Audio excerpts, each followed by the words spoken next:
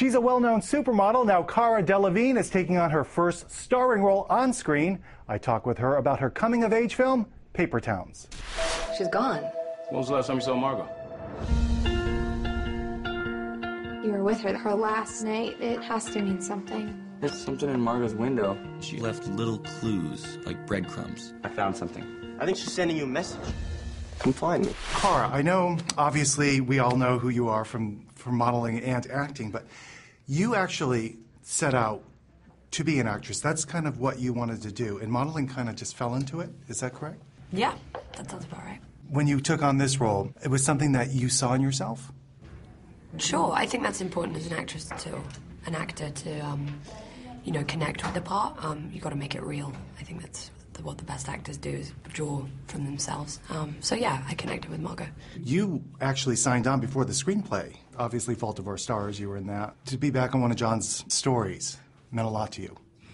Yeah, I mean, I had a I had a really great experience working on Fault in Our Stars. You know, it's like the same teams, the same screenwriters, the same producers. You know, obviously John wrote both the books, and uh, um, and uh, I read Paper Towns on set during Fault in Our Stars, and I had a lot of time off while Hazel and Gus were off falling in love. I had like time I was just blind in my hotel room, bored.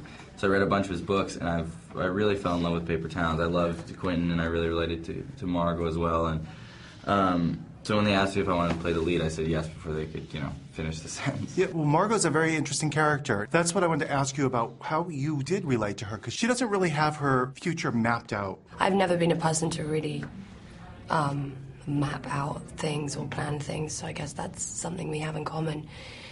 But again, you know, I think, you know, we're similar in the ways like we love adventure, and she's she doesn't. But the thing is about Margo, she doesn't really think about the consequences of things. I think that's what she has to learn about. And from Q as well, it's not all about planning, but it's about you know thinking how you affect people and, and seeing that. And you're moving on to something quite different after this, Suicide Squad. Mm-hmm. Is that something you kind of would like to try out all these different types of things and genres? I mean, yeah, of course. I've always wanted to act, so I want to do everything. Uh, you and John, you've become kind of close friends, haven't you? Yeah, yeah. You know, you've worked on a couple of movies. Yeah, he's yeah. one of those novelists that doesn't uh, just turn over his novel. He's on set with you guys. Oh yeah, yeah. No, and, and he, you know, the great thing about John is that he's not, uh, you know, he's not all over you about trying, you know, to, about wait, this, you know, didn't, this wasn't exactly how it was in my book, you know. But he's just very concerned about the themes and the general feeling of the movie to be, you know, similar to the feeling that you get reading the book. He's there for support as well, like so much. So that, you know, everyone's like, did he tell you a lot about how to be the character? It's like, no, he kind of left it in our hands, which was so nice. Yeah. Um, but was there to kind of, you know, help us when we needed it. Yeah. Are you a fan of some of his books? Uh, obviously, you read Paper Towns. Yeah, of course. I don't think I would have wanted to do the film if I wasn't a fan of his. Um, but I think his writing's amazing. I think he speaks to young adults like no one else can. It's a, it's, it's an amazing skill. Meanwhile, you can catch her in Suicide Squad in theaters next August. Mike Wilbur, NBC News.